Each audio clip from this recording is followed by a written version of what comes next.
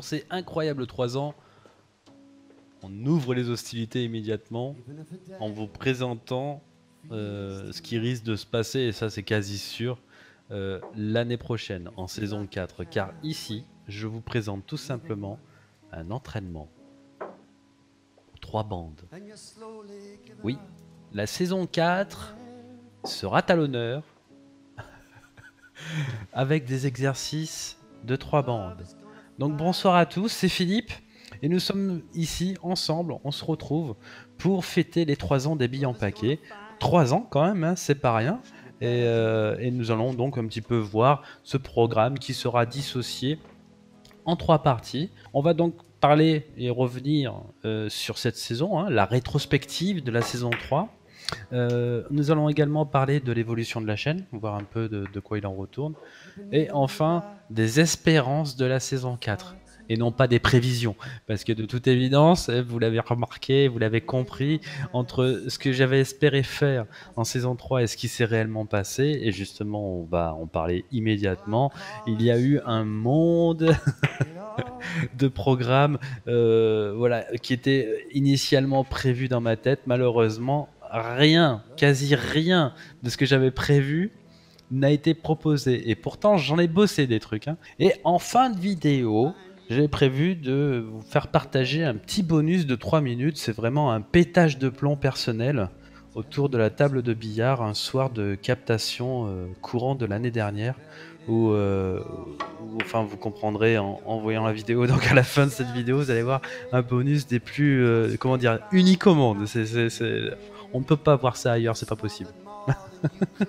donc c'est parti. Allez, on se lance donc dans les hostilités avec cette fameuse rétrospective. Seulement 14 vidéos vous ont été proposées cette année. Euh, et, dans ces 14 vidéos, vous aviez eu droit à 6 matchs d'une compétition de Master 4 de 47-2.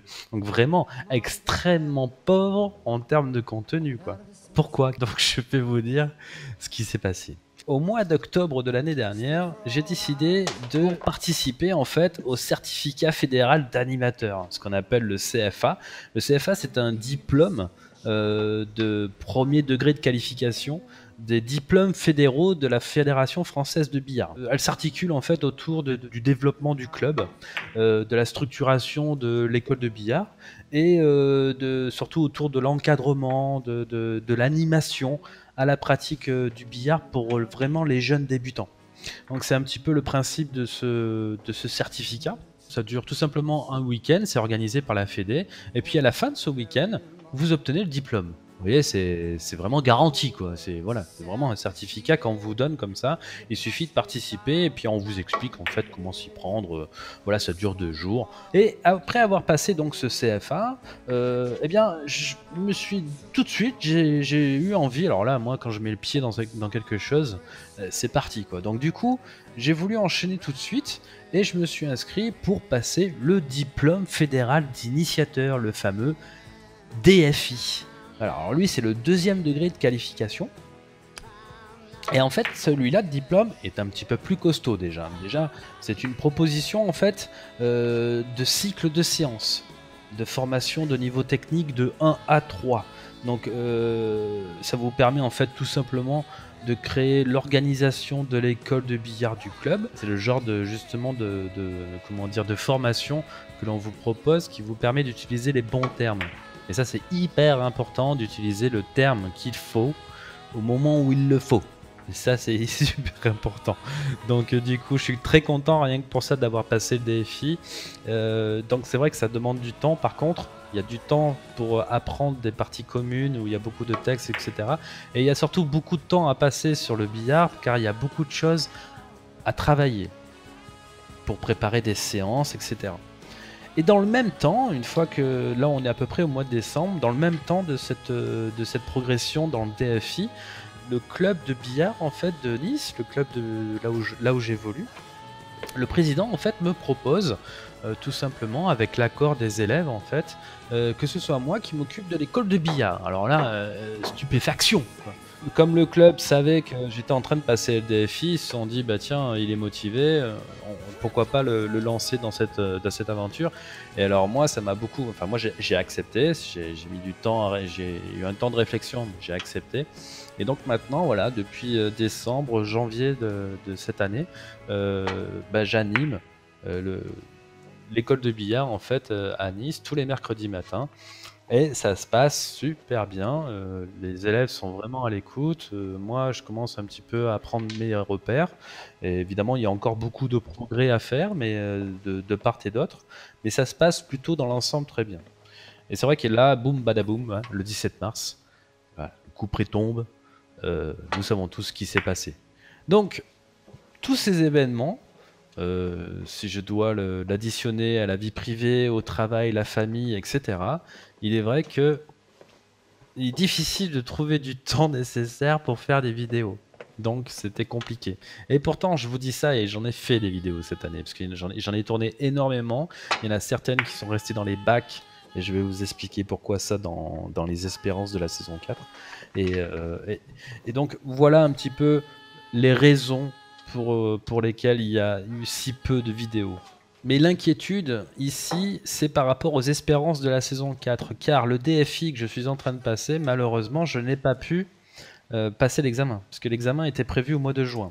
Donc tout a été annulé, donc c'est reporté à une date ultérieure. Euh, par rapport à ça, ça va être compliqué d'assurer les espérances de la saison 4, parce que je vais devoir travailler quand même le DFI pour euh, quand même euh, voilà, parce qu'on peut rater le diplôme, hein, si vous faites n'importe quoi, on vous le donne pas, hein, ce diplôme-là, euh, il y a un examen, quoi. Vous êtes noté, euh, il y, a, deux modules, vous êtes, vous êtes noté par module, si, si vous n'avez pas le nombre minimum de points requis, merci, au revoir, à l'année prochaine pour, pour ceux qui le souhaitent. Voilà. Donc, donc je, suis confiant, ça devrait bien se passer, mais mais voilà, il faut quand même travailler. Il faut faut pas y aller comme ça à la fleur au fusil, ça ne fonctionnera pas. Donc, il faut taffer tout ça.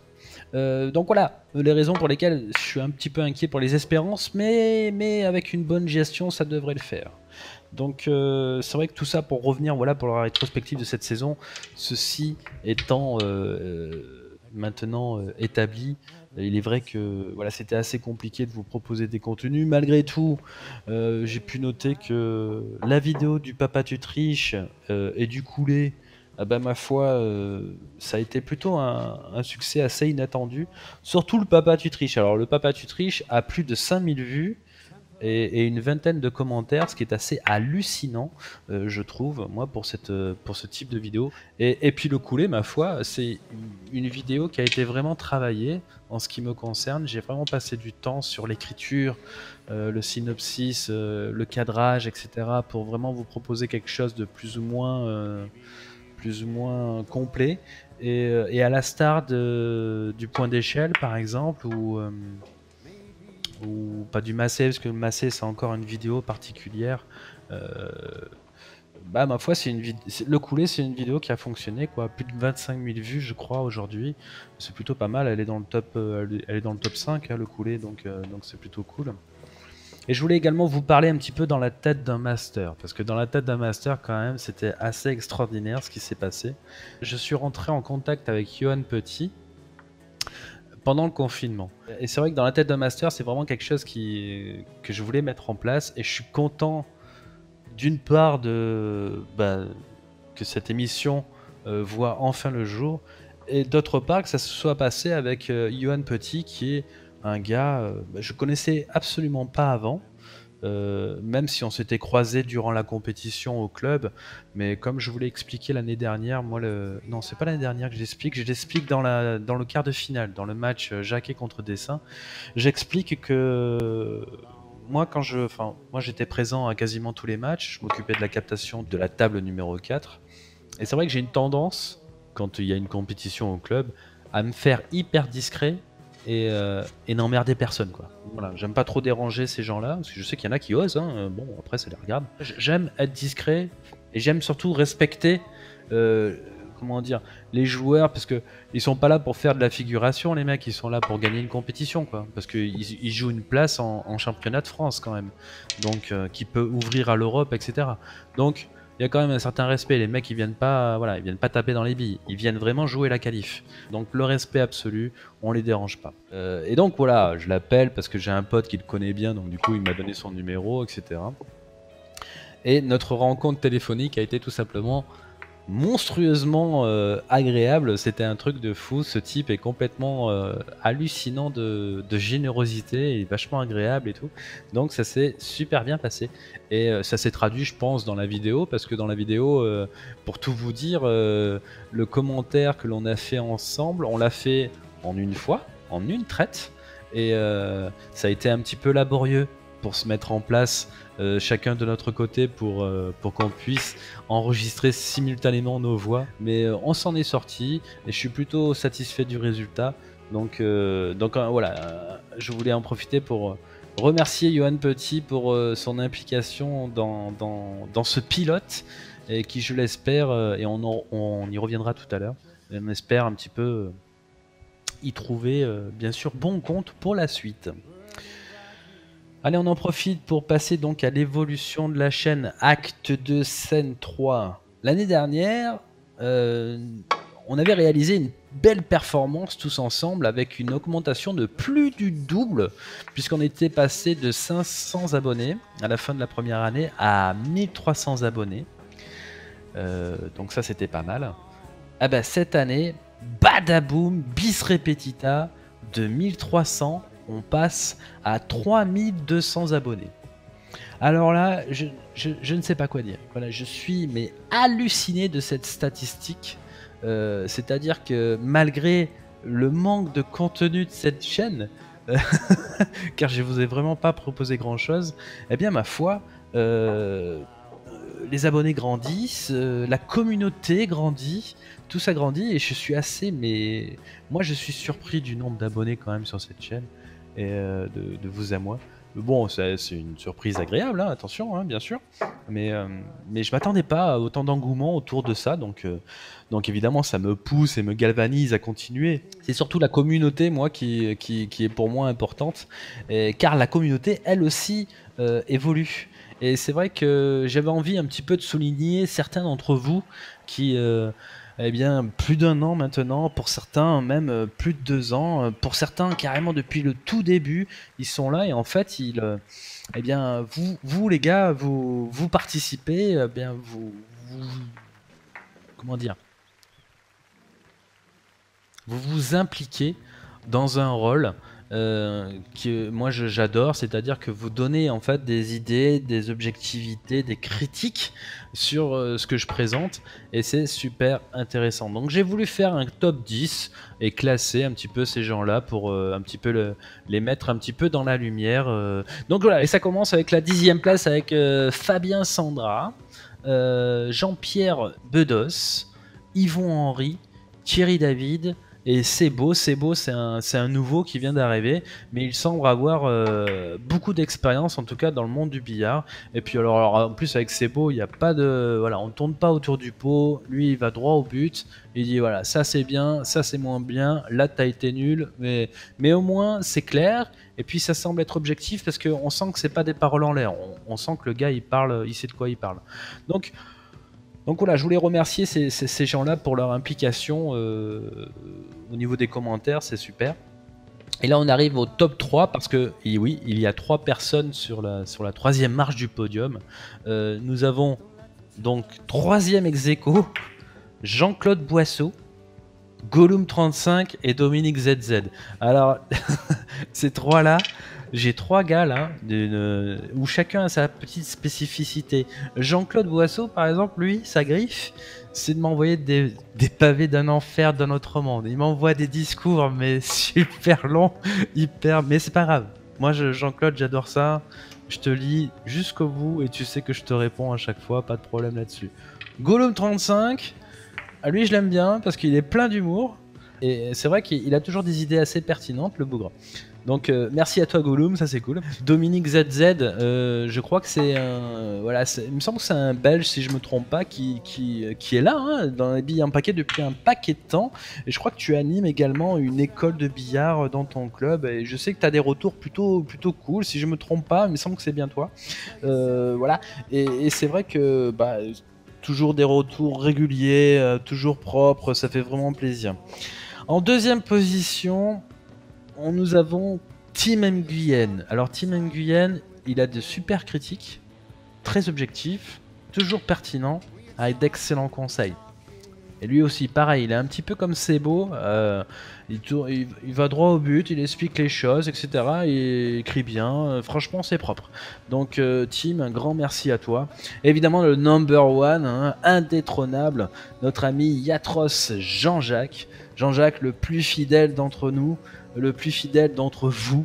une très grande implication dans chacun de, mes contenus et, et c'est vrai que c'est toujours un plaisir de te lire, Jean-Jacques, tu le sais.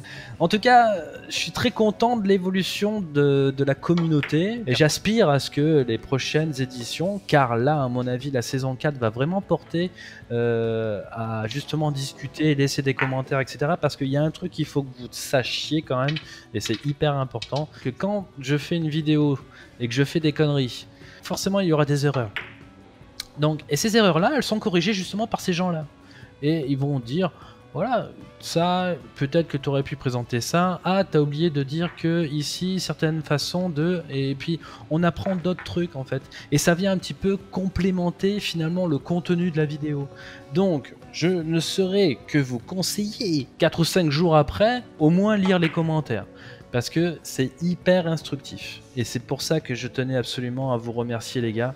Donc, pour votre implication, ça fait vraiment plaisir. Donc euh, merci à vous. Voilà. Merci évidemment aux autres, ceux que je n'ai pas cités. Euh, il y, en a plein d'autres que je n'ai pas cités. Je pouvais pas tous vous citer. Je pense malgré tout, là je mets un bémol. Au niveau des abonnés, je pense que ça va littéralement se calmer. Je pense qu'on est arrivé à un, niveau d'abonnés où je pense pas que je vois pas comment je peux faire le double l'année prochaine. C'est pour moi juste impensable. Hein. Parce que euh, on est quand même en France quand on y pense. En France, il y a quelque chose comme 16 000 licenciés. Voilà. Alors il y a peut-être plus de pratiquants, mais c'est 16 000 licenciés, tout billard confondu. Donc ça implique euh, le billard à poche. Donc avoir 3200 abonnés euh, alors qu'on n'est que 16 000 en France, c'est assez hallucinant. Surtout que je sais que la plupart sont plutôt portés trois bandes, donc c'est assez, assez bluffant. Parce qu'il y a des chaînes similaires en fait qui ne font que du trois bandes euh, mais bon, justement, ça me permet de, basculer, euh, puisqu'on parle du 3 bandes, sur les espérances de la saison 4. Alors, sur la base de la certitude, je peux vous confirmer que nous allons continuer les séries commentées. Pourquoi? Parce qu'il faut consolider ce tiers, il faut être capable de travailler correctement les billes de prêt. Donc évidemment que nous allons continuer les séries commentées. Sauf que je vais proposer une nouvelle formule. Soit, bon là c'est un peu prétentieux de ma part, mais tant pis, je me lance. Euh, ce sera des séries commentées soit sur mouche, voilà, soit on part euh, avec un point prédéfini dans le tiers, mais avec le cadre, plus avec la libre. Parce que en fait, et, encore une fois, c'est vraiment, vraiment, prétentieux de ma part de dire ça, mais je pense que ce sera de moins en moins intéressant de proposer euh, des séries commentées avec un point défini dans le tiers du billard à la libre, si trois coups plus tard, t'as l'américaine. Tu vois ce que je veux dire? C'est tellement spécifique ça, euh, l'américaine, que ça peut ne pas vous intéresser. Par contre, ce qui est intéressant, c'est de travailler les billes de près, de travailler les billes dans le tiers. Peut-être une autre formule, c'est de, chercher l'américaine. Une fois qu'on l'a trouvée, on arrête, on recommence. Ça, c'est quelque chose que j'avais déjà proposé. Euh, il me semble, euh, en saison 1 ou en début de saison 2. Donc voilà, il va y avoir une nouvelle formule qui est encore à, comment dire, à peaufiner sur les séries commentées. Il y a également le Papa tu triches. Hein. franchement, il a, il a tellement cartonné cette année que j'ai envie de vous proposer le fameux Papa tu triches Mododa 3, car euh, j'ai envie d'apporter une petite chose en plus euh, à ce Papa tu triches, mais on restera réellement dans le même concept. Euh, pareil, le papa du triche, je pense qu'on va rester dans le mode du cadre. Mais on va peut-être faire de ce qu'on appelle du papa tu triches en, et c'est pour ça que je vais l'appeler Mododa 3 sur du cadre ouvert. Donc on aura l'occasion d'en reparler sans aucun problème. Euh, nous allons, et ça, il faut le faire, il faut que je le fasse. Et ça, d'ailleurs, ça sera, je pense, euh, notre entrée en matière dans la saison 4 qui va démarrer, je pense, fin août ou début septembre, où nous allons tout simplement présenter les fondamentaux. Je vous en avais déjà parlé l'année dernière. Je vous avais dit que je voulais faire, vous vous souvenez, le rejet naturel, que je voulais le, proposer en fil rouge, que j'avais à cœur de le faire. Donc là, je fais un gros aparté et je vais vous parler des fondamentaux. Les fondamentaux, j'ai bossé, vous le savez, euh, ça fait plus d'un an que je suis dessus maintenant et que j'ai fait n'importe quoi, tout est parti à la poubelle, etc. Ça, euh, ça pour euh, vous vous souvenez, j'en avais parlé dans Incroyable deux ans. Cette année, en fait, tout est tourné, tout a été tourné, tout est dans le bac, j'ai tout là sur les ordinateurs, tout est prêt, mais je vous les ai pas postés parce que il y a des petites choses qui me chagrinent. Et pour moi, sur chaque vidéo, il y a des petits détails qui font que ça m'emmerde et du coup, il faut que je refasse tout. Parce que c'est trop important. Les fondamentaux, c'est hyper important. Et le coup naturel, ou le rejet naturel, ou l'éclatement naturel, appelez-le comme vous le voulez, euh, c'est tellement important. C'est tellement primordial dans l'évolution du, du billard français que il faut pas que je fasse n'importe quoi. Donc j'ai envie de faire les choses vraiment correctement. Et je m'acharnerai cet été pour que tout soit nickel et qu'on démarre la saison avec les fondamentaux. Pourquoi? Parce que derrière, ça va, et là on poursuit les espérances de la saison 4, il y a déjà du boulot. Hein. C'est énorme. C'est l'apprentissage du billard 3 bandes. Il est hors de question de vous présenter quoi que ce soit, comme je suis en train de le faire là, de vous présenter quoi que ce soit aux 3 bandes tant qu'on n'a pas vu les fondamentaux. Hein. On ne résout pas le problème 886 quand euh, on a la solution au problème 4.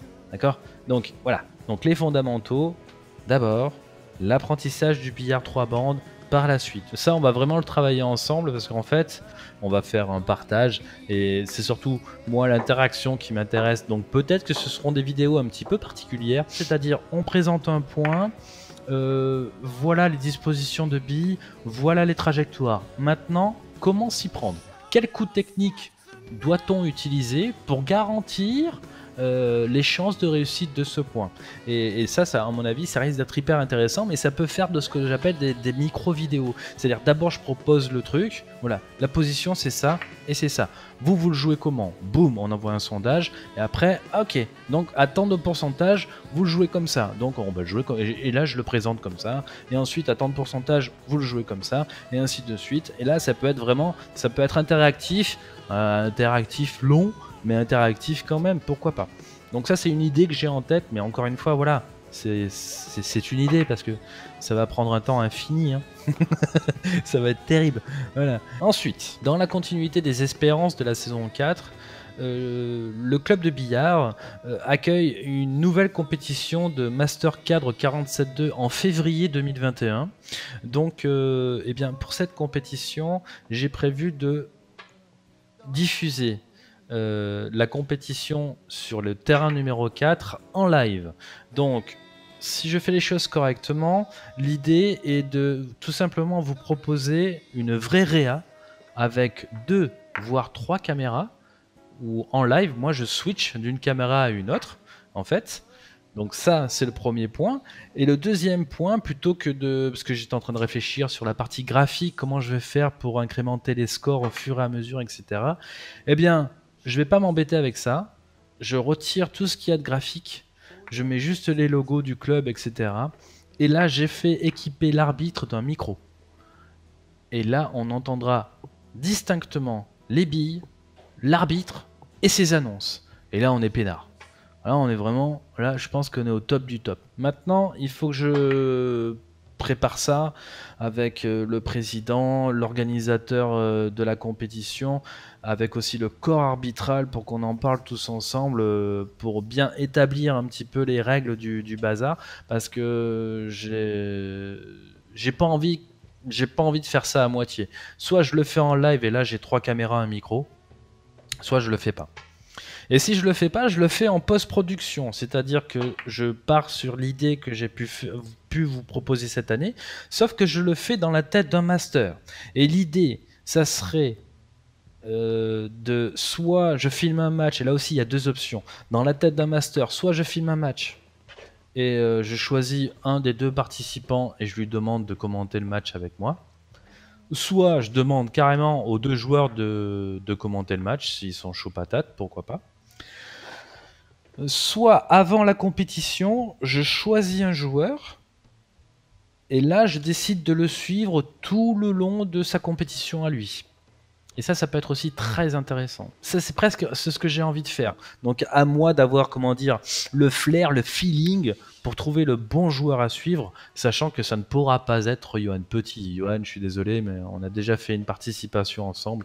Euh, voilà, place, euh, voilà. J'ai pas, j'ai quelques noms en tête, mais on verra bien le moment voulu.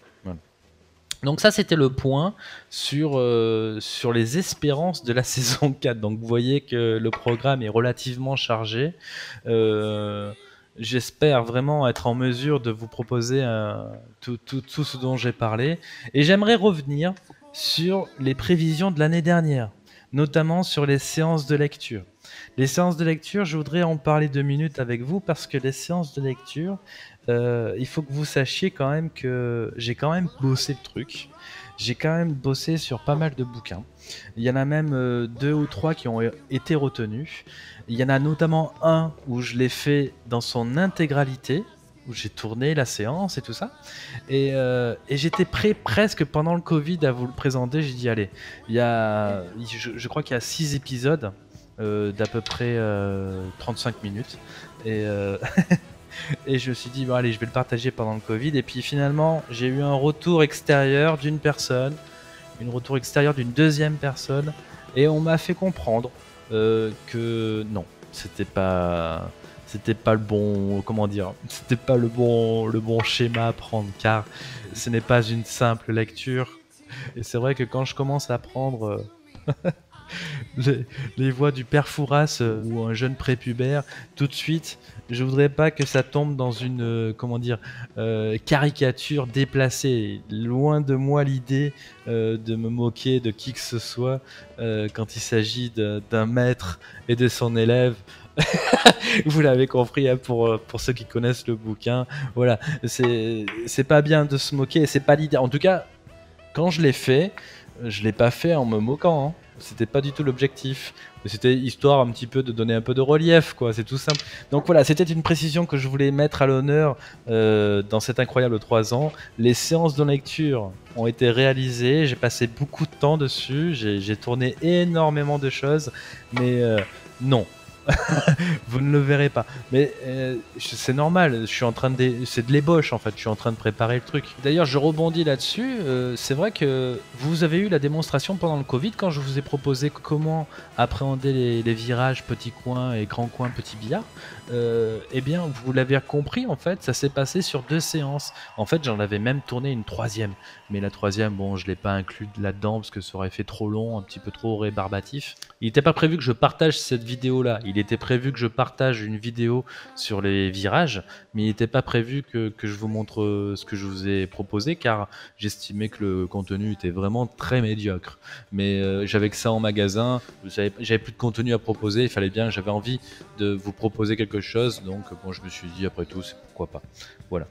Euh, je voulais faire également le point euh, sur euh, bah, l'idée que j'avais sur les présentations de clubs. Vous vous souvenez, dans Incroyable 2 ans, je vous en avais parlé que je voulais faire des, sessions de présentation de clubs, etc. bon, oui, vous l'avez compris, ça c'est tombé un petit peu dans les limbes pour plusieurs raisons. Hein la, raison la plus évidente, c'est la raison euh, du temps. Euh, et puis la deuxième raison, c'est la raison géographique. Quoi. Je vais pas, je peux pas me contenter de faire ça que dans mon club et mes clubs voisins. Quoi. Je vais, parce que ça, c'est toujours possible. Voilà, je fais mon club, je me déplace en compétition, machin. Mais après, non. Si c'est pour euh, faire que ma région, j'en vois pas vraiment l'intérêt. Et puis, et puis même, c'était pas une super formule. Je pense qu'il y a mieux à faire et y réfléchir. Quant au journal par trimestre, ça, c'était tout simplement une aberration impossible pour moi à l'heure actuelle de vous faire un truc pareil. J'ai essayé, hein. j'ai essayé, je me suis un peu renseigné, je suis allé voir dans toutes les ligues, etc., pour voir si j'avais un moyen d'obtenir des informations de chaque compétition. Et en fait, c'est de la folie le nombre de compétitions qu'il y a en France. Mais non, c'était trop compliqué évidemment. Euh, voilà, on a fait à peu près le tour hein, de, ce dont, de ce dont je voulais vous parler. Voilà, c'est terminé, messieurs, mesdames. Merci beaucoup, ça m'a fait plaisir. Le béco tout plein. Et on va se quitter donc sur ce fameux bonus. Alors, cette vidéo est tout simplement insondable, mais euh, je ne sais pas ce qui m'a pris ce soir-là. Je l'ai fait, voilà ce que ça donne. Ça dure que quelques minutes. je vous en prie, ne le faites pas chez vous. Hein voilà. Le béco à tous et à très très très vite pour les fondamentaux. Le béco. Je n'en peux plus, je viens de bêta tester l'exercice, je suis épuisé. En plus j'ai un pull aujourd'hui. Attention une petite particularité aujourd'hui. Je pense que je ne le ferai qu'une seule fois, donc profitez-en. Donc ici, vous voyez, on a, on a la bille blanche et on s'est placé donc un magnifique rétro qui nous permet d'envoyer toutes les billes dans ce coin-là. Et en fait, ce qui va se passer, c'est dès l'instant où la dernière bille qui est en mouvement s'arrête, on a 3 secondes pour jouer le coup suivant. Ça veut dire quoi? Ça veut dire qu'en fait, on n'a pas vraiment le temps de réfléchir. Donc l'anticipation de la réflexion sera omniprésente pendant le déplacement de la dernière bille en mouvement. Et ensuite, on a 3 secondes pour prendre une décision sur tout, c'est-à-dire hauteur d'attaque, enfin sur tous les paramètres en fait. Donc là, ça va être complètement du grand comique. Et, euh, pourquoi on fait ça? Pourquoi je fais ça? Parce que ça permet, euh, bon, déjà vous travaillez votre cardio, hein, donc ça veut dire qu'on n'est pas obligé d'aller dans les salles de sport pour travailler notre cardio parce que là, ça court dans tous les sens. Et en plus, on se débarrasse de tous les parasites. On n'a pas le temps d'être parasité. Et vous allez voir comme c'est extrêmement drôle surtout. Allez, c'est parti. Moi, je le fais pas longtemps hein, parce que là, je suis déjà je suis déjà fatigué. Allez, attention. Donc là, de toute évidence, cette rouge arrive dans le coin. Donc il va falloir que je prenne une décision. Voyons, tac, tac, elle va ressortir certainement un petit peu. Elle joue la jeune. Joue la jeune, j'essaye de l'entraîner, c'est parti. On n'a pas le temps, on n'a pas le temps. Vite Qu'est-ce que je peux faire là? Ah, ici, je peux jouer la jeune. Je joue la jeune. Non, petit point, petit point, petit point. On se calme, on se calme. Allez, petit point. Vite On peut se placer sur la rouge, elle place sur la rouge, c'est parfait. Parfait. Allez, on, allez, on n'a pas le temps, on ne veut pas être parasité, nous. Voilà. Cette rouge revient. Qu'est-ce qu'on peut faire? Oh là là, elle va sortir, elle va sortir. C'est quoi le plan? C'est quoi le plan? Je suis en éventail. Oui, on va rappeler cette rouge. On va rappeler cette rouge immédiatement. Allez, reviens la rouge. Tu reviens comment?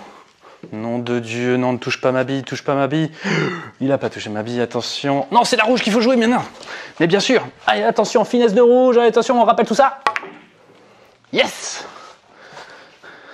Bon, évidemment, hein, ça va dans tous les sens. Qu'est-ce qu'on peut faire? Qu'est-ce qu'on peut faire? Qu'est-ce qu'on peut faire? Vite, vite, vite, vite, vite. 1, 2, 3. Oui Rétro sur la jaune Non Non, non, non Il est là, le 90, il est parfait, il est parfait. Là, là, là, là Oui Oh punaise, je rappelle la jaune. Attends, bah voilà, c'est parfait. J'ai le temps de mettre un peu de bleu. Voilà, arrête-toi là. Oh, elle est petite. Elle est petite, mais ça le fait, ça va le faire. Regardez, ça va le faire. Ça le fait. Allez, allez, allez, allez, allez. Où elle va, la jaune? Où elle va? Non, c'est pas la rouge qu'il faut jouer. Non, si, finesse de rouge. Finesse de rouge, très fine. Attention. Voilà. Oui L'escroc. Attention, non, arrête-toi la blanche, vite Allez, coup naturel, il a rien à faire là. Il y a, qu'à pousser, il y avait qu'à pousser. Oh merde. Bon, voilà, je suis épuisé. Mais bon, vous avez compris le concept, quoi. Allez, le béco